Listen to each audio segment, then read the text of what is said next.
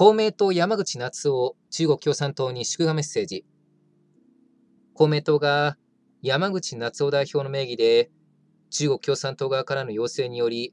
中国共産党創設100周年の祝賀メッセージを送ってしまったことが確認されました。この問題について公明党の山口さんは一つの政党で100年を迎えること自体なかなかないことだ。なお一層世界の平和と発展、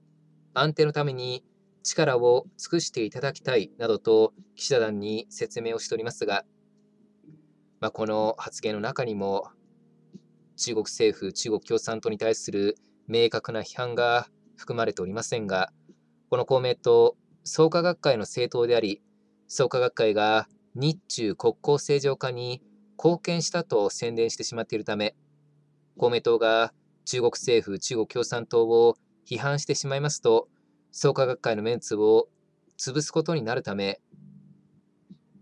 批判していないんじゃないかと見られております。公明党には、人権の党であると宣伝をするのであれば、最低限中国政府、中国共産党が引き起こしているさまざまな人権問題について、公明党としてしっかりと批判をしていただき、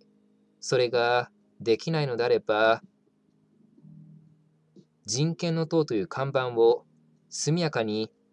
下ろしていただくようにお願いいたします。以上になります。ご清聴いただきありがとうございました。